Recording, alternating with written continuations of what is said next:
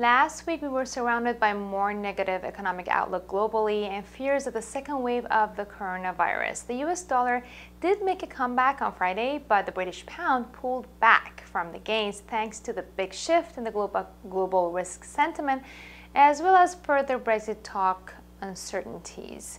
Welcome to the Tickmill Update. I'm Kiana Danielle, the founder of the Invest Diva movement. Make sure to subscribe to the Tickmill YouTube channel and support us by liking and sharing this video with your forex trading friends. The main economic event on Monday is the Bank of Japan's interest rate decision as well as the UK and Euro Brexit talks. Today I'm looking at the dollar Swissy pair which broke below the daily Ichimoku cloud last week and then found support at the 78% Fibonacci retracement level of 0.944.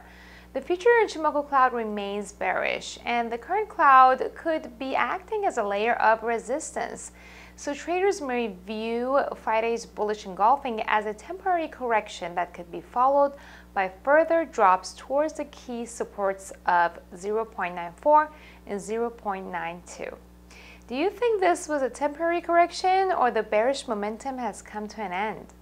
Head over to the comment section and let me know. Of course, trading in the financial markets involves a risk of loss and you should only trade the money that you can afford to lose. If you like this video, give it a thumbs up and support us by liking and sharing this video with your friends. I'll get back to you with more updates tomorrow.